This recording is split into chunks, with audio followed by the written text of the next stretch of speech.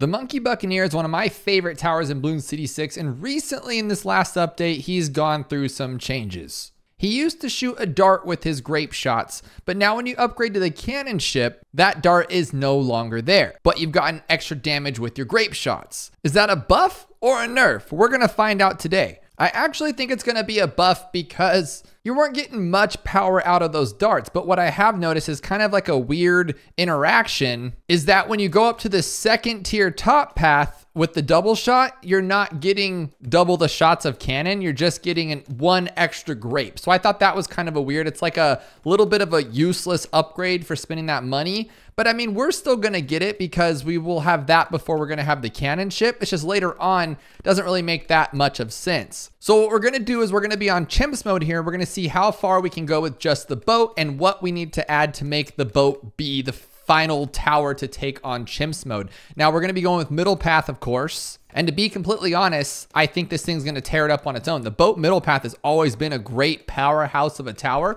but I chose this map because you only get really two chances to knock these things out, right at the incoming and then back on the other end. But it gets so overwhelming that you get this big pile in the middle and you just lose. So this is a beginner map, but it does have some toughness when you're trying to just use one tower. Now, of course, faster shooting is going to make a huge difference. You're shooting faster. It's going to be great, whether you have cannons, darts, whatever you call it. It's just this next upgrade doesn't make sense to me. Let me know below what you think, but shouldn't you be getting like double the cannons? I feel like you should, right? But now we're just getting one more great because watch, okay, so you can see it in slow motion. You're just getting one dart and it's not the strongest thing in the world, but it's doing what it needs to do. It's popping the balloons. So now when we go double shot, we're going to be having two of them, of course. So you can see two, if you just look real closely there, you can see two little darts, but they just completely disappear when you go for a 2-3-0. No more darts at all, but I think you get an extra grape, or I could be wrong. You're supposed to have like five and then you get six, which I do see six grapes there. So we probably had five and now we have six. But we do need one hero here. I'm going to keep him off in the corner. He's not going to be doing anything like popping power wise. We're just going to be using for the basics like camo and see how far we can make it. So I guess this is kind of like a two mega pops challenge as well. And the reason why the boat's one of my favorites is just, well, the Monkey Buccaneer just by itself is one of the coolest looking towers. He just on a boat. You can't be happier than when you're on a boat. Trust me. I have this little dinghy boat, little Boston whaler. I just take that on the lake and all of my troubles in the world go away. And then not only that, he's living the pirate life. And then not only that, he can pop all types of balloons. Right now, he can pop everything but camo. Purple balloons, black balloons even because he can just grape shot them with fire because watch this, boom. Bomb can't do that but this guy can, which is awesome. So we are going to have to use some camo though, and it looks like we're actually getting a little overwhelmed. And We're going to need 5290 to get to the next one. We probably should have gone with grape shots a little longer, to be honest. A little nervous about it, but we should be okay. Now, if we need to, we are going to buff him with an alchemist. We are going to use glue to slow things down, you know, the huge, but we're going to make him do 99% of the popping and see how good it is. I really like the cannon ship. I think it's a great tower just because you think you're about to lose, like a balloon just slipped through there actually, and then boom, he just makes it disappear in one go. Awesome. Oh, but the whole point of this, look it, he has no more darts. They're gone. So it's kind of sad in a way. So you've been given extra damage, but you lost a dart. He lost a part of himself. Well, that's what this whole thing is, is darts popping balloons, and now that's just not a thing anymore. So how do you feel about that? Let me know below. But I feel like that dart was like quintessential to the boat. Like he needs his darts. You can't turn his darts into grapes and then just take him away completely for cannons, but then not give me two cannonballs. It makes no sense. Now he's been strongerfied, so not only does he do more damage, but I believe his damage over time has been updated. When you get the fourth path, okay, Monkey Pirates damage over and damage over time increase to two out of two to four. But I'm pretty certain that if I can get 5290 for Monkey Pirates before we lose anything here, I think we're going to be like totally golden. And then I think even if we lose, we can just switch to strong and just work a couple on that. See how we just lost to one yellow. But the good thing about the boat is like you can just switch to strong and he'll just take everything out because he shoots out both sides at such a huge spray. As I say that he loses that one. So I have to switch back and forth but you go strong first. There we go. There we get the first. Okay, get that first. Okay, that's all we need to do. That's all we need to do. We're good to go. But these purples are going to cause us some troubles, aren't they? Now, I don't want to get an alchemist just yet. I feel like that's a little bit cheating. So, I mean, we could get a village, but I feel like that's going to be tough. So I'm just going to get one glue for now. Just one glue. We'll get him up to this one. I think that'll be kind of fun. Put him on strong too. Why not? There we go. Just one little glue gunner makes this guy strong. And it just he's a little too slow. Now, I did do a little bit of testing in Sandbox and I went with a 230 boat and then a 032 boat because I was like, okay, let's see if the bottom one's a little bit better because I know they've buffed it over time. And honestly, I did round 57, just those two, just each one separately on its own.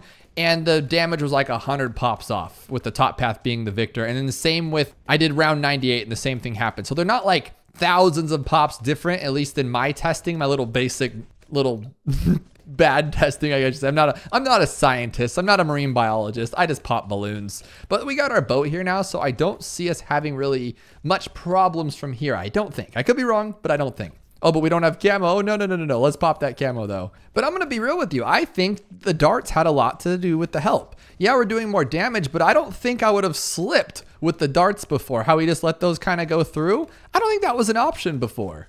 Now I do want an alchemist later without hitting the glue. So would that be a safe one right there? I think like right there would be good or even there. Maybe that, that looks a little iffy like it won't hit, but I am going to put this. Actually, that's good. That's good right there. I love that. And we'll go camo first so we don't have to buy that anymore. But we still have seven rounds. So I lied. I lied. We're going to go jungle drums first. Should I just pull it or see if we can take it? Let's try to take it. Oh, we took it. There we go. That's all we needed. And see how it was like a little scary and then it just disappears? My face even probably changed. You probably saw like a little micro expression like that because it looked scary.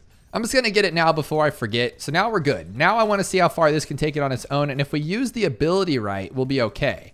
Now, nothing has been done to the fifth tier, but if you don't remember, the fifth tier was already pretty busted. He was a great tower. Like once they buffed him a few, I want to say almost like a year ago now, everyone started using him for like all these chimps runs because he was just a powerhouse, just a great tower. And it pulls down three Moab class balloons in one go or one ZOMG. Very, very, very, very useful. But they also buffed this guy a long while ago, just the fourth tier, and look how good he's doing on his own. Again, beginner map, but it's not the easiest one. It's not like Monkey Meadow where you have like 45 turns on it. It's just this one go, and then you got it back on the back end. But we're doing it even with a little glue gunner. So I think ceramics are gonna start giving us trouble here. I mean, we could do the whole strong first thing, I guess. I guess that's that works. Yeah, that actually worked really well. But I don't want to be microing this whole time. I just want him to be a powerhouse tower. And honestly, I'm trying to get two mega pops with him just to prove how great he is. Because we can just go like, look at that. We can just pull that thing down. That's pretty cool. Uh, if I buy too much glue, then things might get crazy. But I think I should at least get glue splatter in that one, and then get Moab glue a little bit later. Because I don't think we'll need Moab glue for even a while. Because this thing will just should just do it, right? Yeah. Okay, but if we have more than one of those, that's going to be trouble for sure. And the boat bomb kind of reminds me of like recursive cluster. It looks like it's going to disappear, like it's going to make it out of the track and you're going to lose and it just disappears because it's a big old bomb.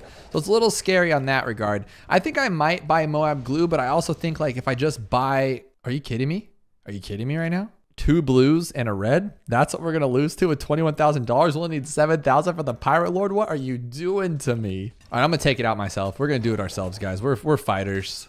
Take it out, take it out, take it out. There we go. Take it first, first, first. Yeah, you can't you can't mess with me. I know what I'm doing. I'm a boat pro. I've literally been a captain for like the last 10 years of my life. I am Captain Joel of the little dinghy boat. And if you don't know what a Boston whaler is, you gotta look it up. It's so cool. You guys will love it. It's just a tiny little dinghy boat that we put on the lake and try to feel cool about. So I'm gonna pull that one, and then this one we'll fight on our own because I think that's the way to do it. And 37 is like real. I'm really gonna get scared. So or 57, sorry, because there's just so much things going on with that. Actually, right now, we're to get dunked on.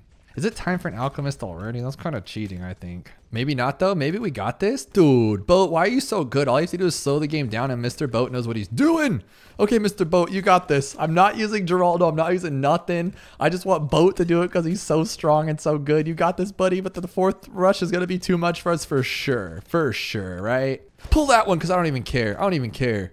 Dude, I might get it before 58 and then we'll have, we got Pirate Lord. We're done. I don't even have to buy anything. One reason I really love the boat, especially the Pirate Lord, it just yanks those things down. And then the recooldown is actually really, really good, which is nice. Now, I'd like to get like a top path submarine, but I don't want to because it's going to do damage. And again, we're trying to get all of the pops with just this boat and I can just I just love this. So I can just and it pulls down two of them at a time.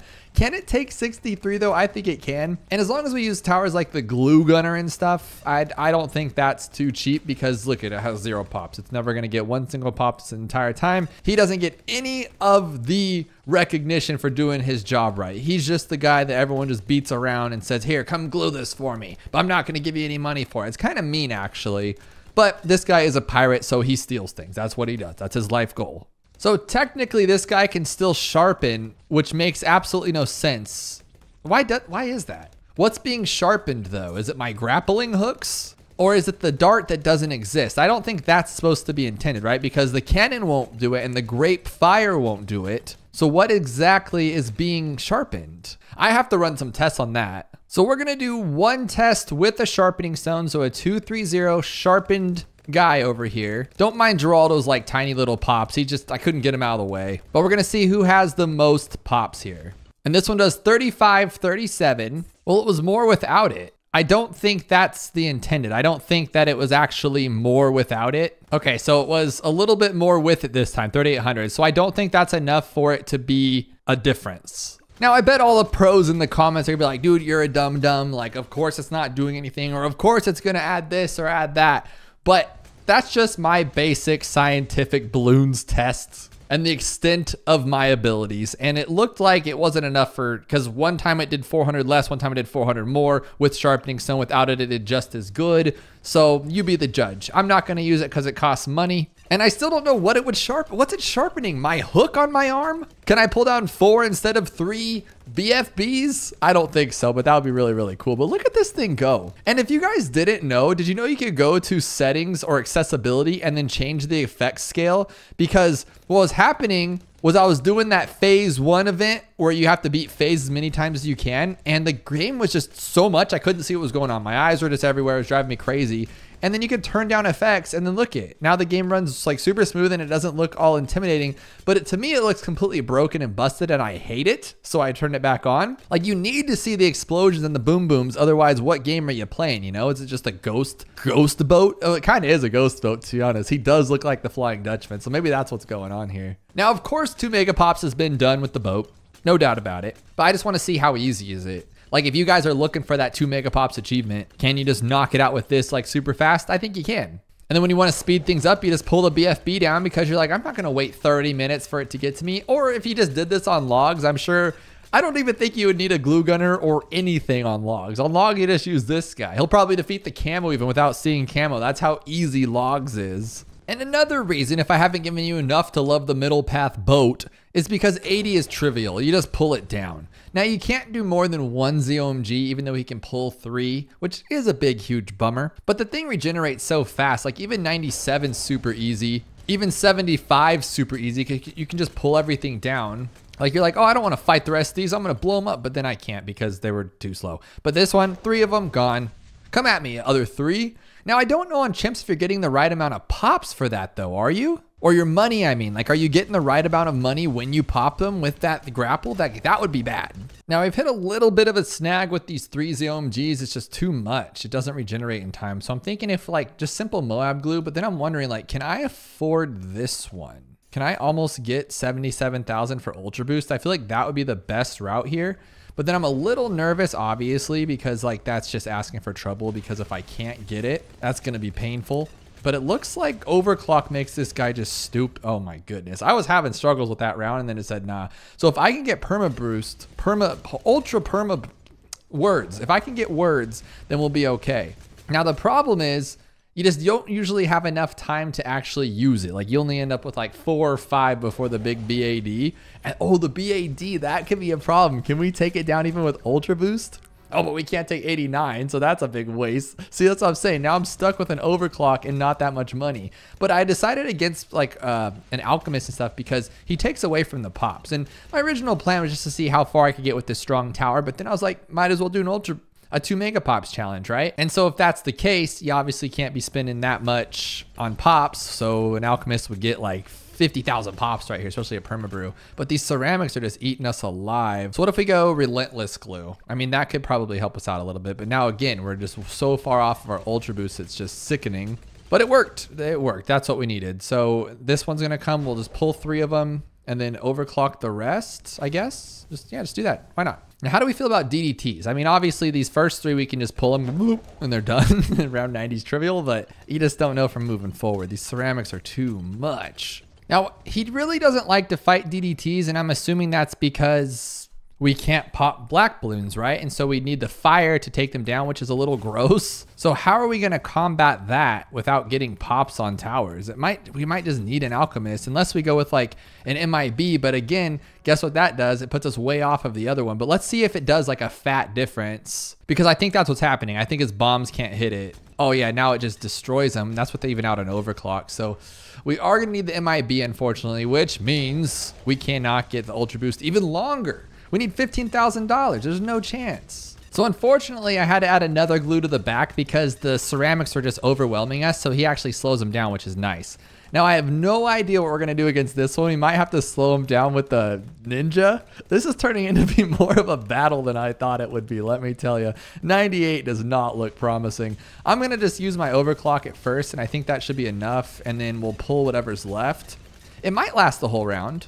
Oh, it did. Can we take down three ZOMGs? I think we can with just an overclock because it's just that good. And I don't even have to pull anything. Dude, that thing's busted. Like, do I want to get an ultra boost though? Like, do I want to? I don't think I do. I don't think I do. And then I just pull 97. This is so ridiculous.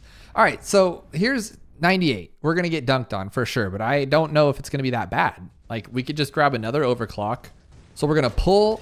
Once it gets a little out of hand, we're going to overclock it now. Yeah, see, this is what I meant earlier when I was saying that like you just get overwhelmed. So it is a beginner map, but it's not.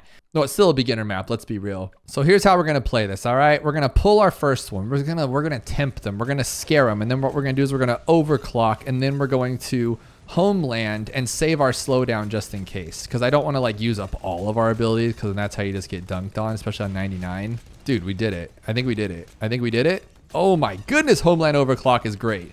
Forget Ultra Boost. I think stupid. All right, so here we go. We got everything back too. Oh my goodness. We're just going to pull these three down, get them out of the way here. I'm just going to one overclock. How about that? We're not going to do everything. No, I got to. Do I do it? Do I do it? No, we didn't get it. Dang it. So here's how we're going to play this one. They want to mess with me. Like We're going to slow it down, pull them, and then overclock now to get that thing spinning. And that should be enough. Yeah, there we go. Now we can homeland. We can do everything. We have $20,000. He has all of the pops if I can pop this thing open. Nobody else has a dime of pops. I love it. Now, what else can we do besides double overclock here? That's probably what we're going to have to do. So I'm going to start with that first double overclock. And as soon as it starts hitting, we'll homeland, overclock, and then as soon as it leaves, we'll do it again. So we'll slow it down, pull it. I think that might actually work. And just in case I don't want to lose it at a terrible time. Oh, dude, are you kidding me? Look how close we are. We're so close. Forget this guy. Let's just do this. I think I'll have enough pop still. I think you still get like 20,000 or so with it. So this should be fine. You know what? We're not going to play these games anymore. We're winners, not losers. This might actually work.